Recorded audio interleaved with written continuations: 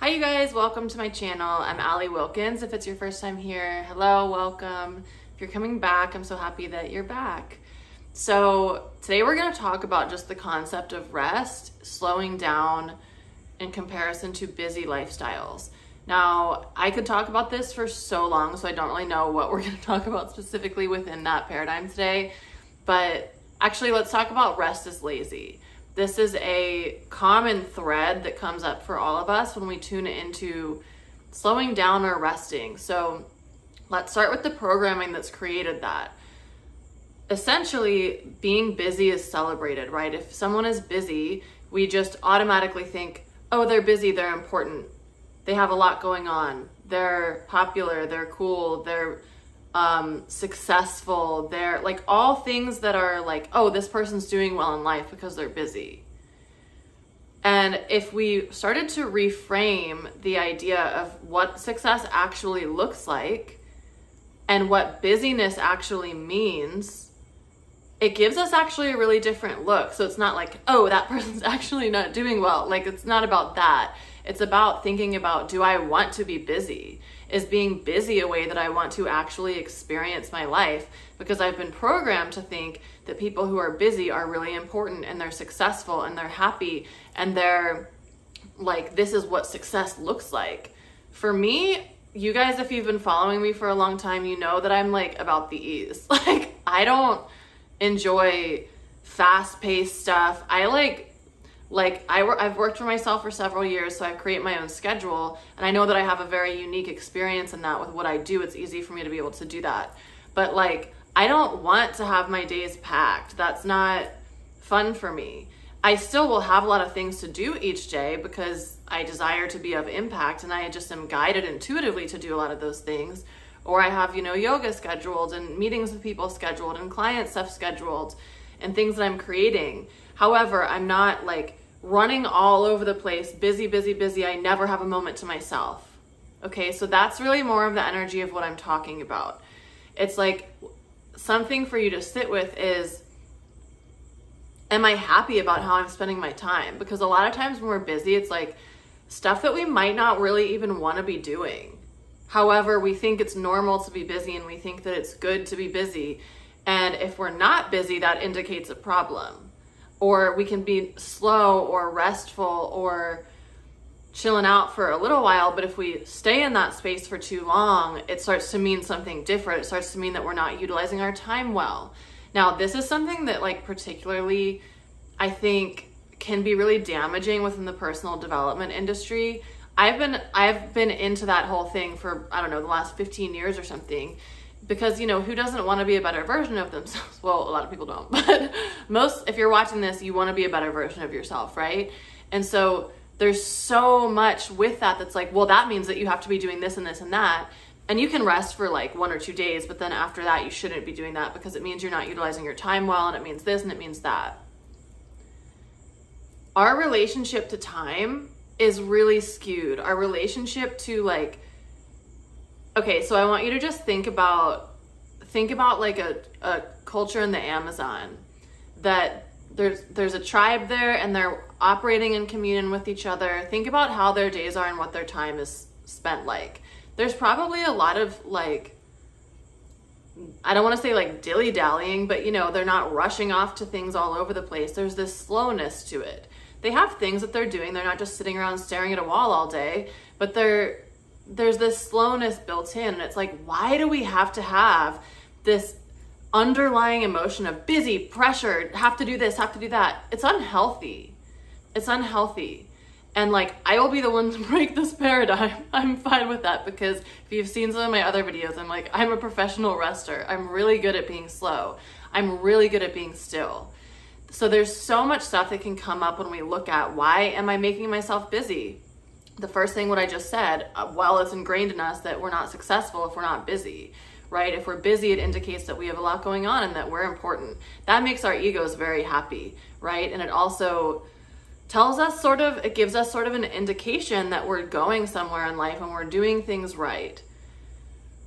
Okay, I forget what I was saying about the like one, two, three. Um, so the second part of this is, let me think, let me get back to my train of thought Okay, so thinking about for me, health really helps me with this whole con- conversation because it's like if we live these really, really busy lives and we have a culture that's very sick, full of diseases, right? Like we have a lot of illness in our society. And it's not to say that there's not illness in slower societies. However, us pushing our bodies and not listening to our bodies because we think that slowing down means we're lazy has an impact on our health. So I often think about when my body is like, yo, you need to take a nap. Like, you are so tired right now. Sure, you can go get another cup of coffee and push through if you want. Like, you physically will be able to do that. But you could also just take an hour nap. What's the big deal? And my mind's like, well, the big deal is that then I'm lazy and I shouldn't do that. And I should be spending my time better. All these shoulds, right? And also like well i'm not going to have as i'm not going to be as efficient and maybe i need to get more clients so i can't be spending that time sleeping i have to be working. Or i need i need to get these things done so i have to do this. So think about right now what your own things are that come up for yourself because i have a different lifestyle than you do. So what parts what comes up for you specifically? What are the stories that come up for you of like why you cannot slow down why it's not okay I think about this might be dramatic or or whatever, but it helps me. It's like, okay, what if I was gonna get a disease in 50 years, knock on wood? Because I ignored all of these signs that my body was telling me. Our bodies are wise. Our bodies give us warning signs. It's not just like, oh, you have a disease now. It's like there were 45,000 warning signs were you paying attention enough? Were you listening to yourself enough? By the way, this isn't to shame anyone. I hope this doesn't like offend anybody. This is just the process that my mind goes through when I'm thinking about taking a nap or slowing down or taking a day off. When I have things that I, in quotes, should be doing. So it's not meant to be like attacking to you. It's just my own mental process. Um, I'll think like, how much does it cost to have a disease in 40 years? Because I'm ignoring what my body's telling me. Now, there's also, I just have to say this here as a caveat, also our self sabotage can come in in certain ways. For me, it used to be with like sleeping or cleaning stuff up or like, oh, I'll do this after I clean this or I'll do this after I, you know, I just feel really tired all of a sudden. You have to, first of all, like step one, be able to discern if that's self sabotage or not. That's not what this video is about though, because there's an underlying theme of like rest is lazy just running through our society that's making a lot of us sick and crazy. So, but that's just a caveat. Notice if you're trying to avoid something by sleeping or taking a nap or getting extra rest or taking a day off because you don't want to face something. That's different. Anyways, so I'll think about, you know, is my body trying to warn me something right now? And if I continually skip this or push through, what's the cost later on down the road of doing that? And usually, like, if my body's asking for a nap and I take a nap, I'll wake up and have a way better ideas or be able to approach something way better. Sometimes it's not the case, but it's anyway, so that's just something that that comes in handy for me is thinking about my health. Like, what is my body actually trying to tell me? Because if you think about how you're operating, just even like I don't know how to say this, like your own pulse, like your your how you feel when you're like running on empty, how you feel after you've been running errands all day, or um, yeah, just doing stuff all day, it's like you're wiped out, right? So then if you keep your body at that state, it's like if you keep your phone at like 5% charged all the time. I don't really know what that would do to the battery, but like trying to come up with an example of that. But you know, you see what I'm saying? You're not taking if you're not charging the phone if you're not charging yourself taking care of yourself long term what is the effect of that? Like you're weaker you're weaker in general or the phone might be weaker because it's used to running with just a tiny bit of battery. But it might actually appear that it's able it's like re- the word like resilient is coming in like it's it might actually appear like you're able to handle a lot of pressure. You do really re- well under pressure. This is probably like a key code. If people tell you that you need to start resting. If people think that you're like you know oh you're so it's like the example of they're so strong they always have it all together. They're probably breaking apart inside and just don't show you. So yeah, you just need to consider like, what is this doing to my body? So that's sort of the second part of this. And the third part is like, what comes up for me when I start talking about, or when I start really thinking about slowing down? So, a couple of questions that you can sit with here. Number one, do I like spending time by myself? This is not going to apply to everybody who watches this. You, everyone's going to have their own little unique potion of, you know, what their relationship is to rest. Like my relationship is so good with rest, I probably need to push myself a little more. Like, but I'm also like really ambitious at the same time. But that relationship has changed a bit over the years, but I still go for what I really want, right? So it's not like I'm just notice, oh my God, I just did it. Do you guys see this? This is live in real in real moment time. In in real time. I'm trying to show you that I'm not just some like lazy bum. Literally, I'm just doing that and I'm somebody who's really good at resting and slowing down. So interesting. Whoa. Thanks, Spirit, for that unique moment. Anyways, um, so I was gonna say that this won't apply to everybody because uh not everyone is doing this, but sometimes people are subconsciously keeping themselves busy to avoid stuff, keeping themselves busy to avoid. So think about it this way. If you like just go through a breakup or something, or you're going through, or someone maybe passed away, and you're just sitting in your house by yourself, there's not distractions around you. you. You could distract yourself, of course, but like pretend there's no distractions you're going to be sitting in those feelings. That's going to be uncomfortable, right? It's healthy, but it's also uncomfortable. So some people will actually try to distract themselves to the point that it becomes a coping mechanism to be busy. And then it also comes with this reward of like, oh, well, because I'm busy, I'm like important and I'm successful and I'm doing things right in life. And like, you're also then rewarded for that coping mechanism. But, but the question to ask yourself is, do I like being by myself? What is my relationship to being by myself? Could I spend a week by myself and not see anybody? If you would be really uncomfortable with that, I'm sorry, that's a problem. You need you need to be able to be comfortable with yourself. And if you can't be with yourself, it means that there's things that you don't want to see the more time that you can spend by yourself, the more you will understand yourself. Because when we're surrounded by other people, we see our, well, you know, there's benefits to both, of course. But when we're surrounded by other people, we're not in our true, authentic state most of the time. We are, you know, how sometimes like you have one friend that you have a different relation like you show up a little bit different with this friend over here than you do this one? It's like you show different parts of yourself because you're complementing their energy or you're you're going with their energy. So it shifts your energy just like a little bit. Or it highlights probably more so this it highlights p- specific parts of your own energetic being with that specific person. So when you're by yourself, there's not any of that. It's just you and your and your innateness and yourself. That's it. So you get to actually see who you are by yourself. Fully expressed too, because there's nobody around you to like judge you. So you'll probably show up more yourself. But also, it gives you a chance to look at what actually comes up. When when you're out with your friends all the time talking about stuff, you're only going to go so deep because you're pre oh, oh, the waiter's coming with food, or you're watching this movie, or you're dancing at the club, or you're going on vacation and going to these cool places. Like, you're only going to be able to go so deep with them, but the stuff that's really underneath the surface isn't going to come up because there's not space for it to. So when you're by yourself, the really uncomfortable stuff is going to come up. So a lot of people will have a pattern of like, no, no, I need to be doing stuff and you'll like literally fill your space but you're probably not going to think that you're doing that. You're going to just think like no i just have a really busy life. So there's there's something for all of us to sit in with that. Um, where am where am i busying myself up to like to be in avoidance? Or am i doing that? Because you're not going to realize that you are because you're subconsciously doing it. So yeah, the whole concept of rest, like our society needs to rest more. We need to be more comfortable with rest. But also, here's the thing I saw this post the other day that was so brilliant. And it was like, it was a, it was like a me like a Twitter thing a tweet from somebody and it was like this whole time I thought that I was resting but I was actually just disassociating. They're two different things.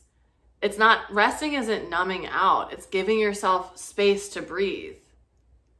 So like and I'm not like like saying that we shouldn't do this, but you know, if I'm watching a show or something, that's re- that's relaxing in some form, but it's also just like I'm not present in the moment. I'm like tuned into this thing over here.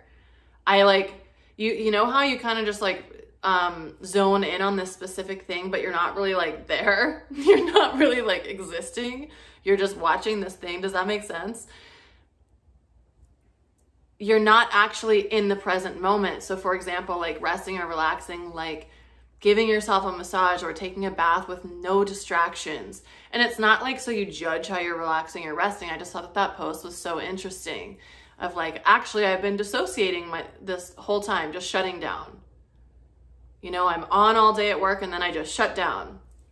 And like what's the in between in that space? How can you still be present and you still be like um, there's this one card in this deck I use that's called the Internal Explorer. It's like, how can you internally explore yourself and see what's really true for you, see what's coming up for you, and be willing to sit with that? And I don't really want to go into this in this video, but it's a component I think that's worth mentioning, just like a little drop, and then I'll leave it alone. Like, so much of what how we have learned to operate in our worlds really rids us rids us of our power if we aren't willing to look at what's coming up for ourselves, we don't even know who we are. We're just wearing these masks of like, "Hi, I'm I'm Brittany and I'm a real estate agent and I live in Oklahoma and I do I don't know anybody like this by the way that that's their story. But it's like we wear all these stupid masks of like that's not who you are. Your soul is who you are and it just is. So we have to come back to remember that like so much of what we've been taught and the ways we've been taught to operate keep us out of our true power. They keep us out of actually knowing who we are. So if you can take the time like and be brave enough to spend time by yourself and to slow down and to face what comes up for you when you do that. Likely there's initially going to be words like lazy, um, I'm a bum, I'm not doing enough, I should be doing this, I should be spending my time doing that. Uh, something that's so here's one thing that I'll share that, like I said, I'm a professional rester. I just have learned like when I listen to my body, I'm rewarded, but it may not be initially or immediately. So, for example, like a month ago, I just also just as somebody who's an empath and who's very sensitive to energy, like I don't, I just don't have an option. Sometimes I just, anyways. So for like five days, I just sat on the couch and watched TV, which is not something that I do. I will go months without watching TV and then I'll watch like a one season in like two days of something. But so I was sitting there like, I don't, I can't work. I don't feel, my body wants me to do nothing. My body wants me to just like, it like be on the couch with, you know, snacks and watch TV. It doesn't, I don't want to do anything else. And it's not like because I'm avoiding doing something, it's like I physically cannot. My body's like, you need to tune out and rest because there's a lot of other energetic updates and things or energetic attunements and things going on. You need to just be because you're being worked on. That might not resonate with everybody here. That's okay. Um, so I was supposed to be in quotes getting something ready for a launch and i was like i my body is just being so strong about this like i'm not gonna fight it i'm just gonna do it and you know it's like day three of me just like numbed out watching tv on the couch like Bleh. and i'm like I really think that I should be doing working on this new program I'm creating. I really think that I should be building the landing page for this. I really think I should be doing that. And it's like you're at, no. My body was like no. Then so there was literally 5 days of me doing that in a row and I would stop and do yoga and have like little client calls and stuff. But like for the most part, that's what I was doing. Day five, I'm like, really? Like another day of this? This doesn't feel.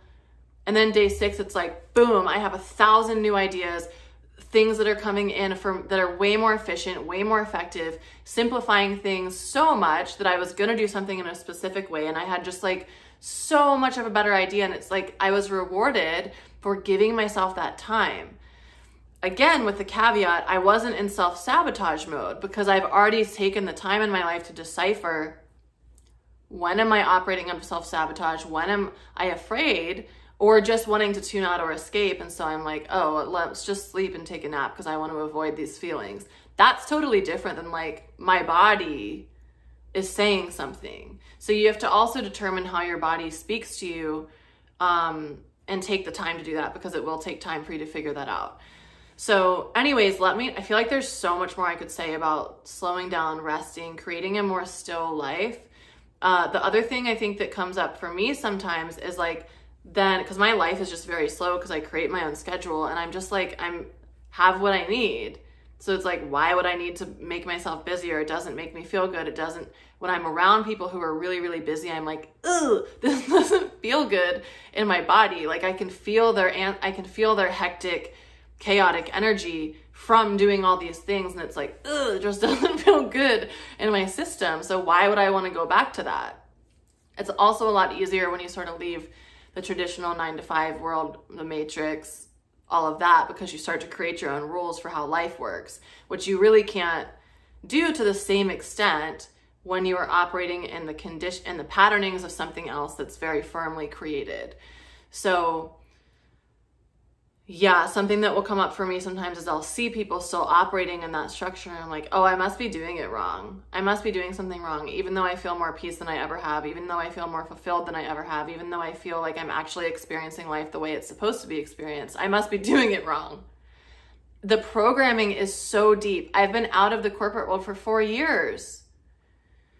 It still affects me. So it's it's like just start observing and noticing like where am I being busy out of obligation? Where am I doing stuff that I actually don't want to do? Where am I like ma- creating more busyness than needs to actually happen? You know, another example is sort of like when we put a zillion things in our to-do list and it's like is this even important for me to do? Like would resting feel better? Would relaxing feel better? Would me I'm saying I want to be reading, I'm saying I want to do sound healings, I'm saying I want to like lay on my acupressure mat. I'm saying I want to get massages, but I'm saying I also need to go to Target and get this thing today, or I'm saying I need to fix this thing in the garage. Like, does it really matter? Could I, what if I just left this space open? And that's another thing perhaps you could try if you do have sort of like a, if you're like, I don't like being by myself, I don't like, I prefer to spend my time with other people or having stuff to do it. Like I feel this uncomfortability with having space and I just get bored. First of all, um, well, I'm not going to go there. Something that you could try is like, I'm going to schedule 30 minutes per day where there's nothing to do, nothing planned, and I'm just going to see what I feel like doing. I'm just going to, that space is only for me. Nobody else is going to be in my space during that time. Just different if you have kids, figure out something different there. Get a babysitter or something. But like, schedule that time of space for yourself so you can start to get more comfortable. That's the only way you're going to get more comfortable if you put yourself in it. And um, what I was going to say about the boredom piece is like, and I, it's hard to say this without like snark to it, which is why I'm trying, I'm like taking my time with this. Like, I spend so much of my time by myself. Now, I'm in a very particular phase of my life where I'm just by myself the vast majority of the time. I am never bored literally never bored. There are endless things for me to do. And it's like within yourself, how can you think about really what am if you're someone if you're aligning with that bored piece? What are the things you want to explore? Why is it that you feel bored when people aren't around you or when you don't have stuff to do? What is it that you're curious about? How, what can you explore in yourself? I think that that maybe is another video. So please in the comments put in this like what you took away from this, what stuck with you, what landed for you, what felt resonant for you. Um, if there's specific questions or specific beliefs that come up that you want me to like go into deeper, because like I said, this is something that I'm just, it comes very naturally to me. So I don't always like see the nuance of the things that I'm doing. So if there's something I said that you're like, um, you need to talk way more about that, please let me know because I just like don't know because it's like if you already know how to ride a horse, you might not know how to teach somebody to ride a horse, right? You guys get what I'm trying to say. So anyways, I hope that you enjoyed this video. I always try to share things that have supported me in coming deeper into my own spirituality, into my innate essence of my soul, really, and that have helped me sort of dissolve off the pro, get rid of the gross programming and conditioning that is just coding us in our society so that we can really remember who we are and create life on our terms. So if you want more of that, please subscribe to the channel, share the videos with people that you think would enjoy them. I'm doing this for free for you guys. There's, you know, because I want to share this so that it can support other people because I've received so much wisdom from other people doing the same. So, in in return, if you liked this video, if you can just like it, comment on it, that helps more people find it. And I'm doing it purely so other people can access this stuff for free. Um, so, anyways, thank you so much for watching. I hope you have a beautiful rest of your day, and I will see you later. Bye.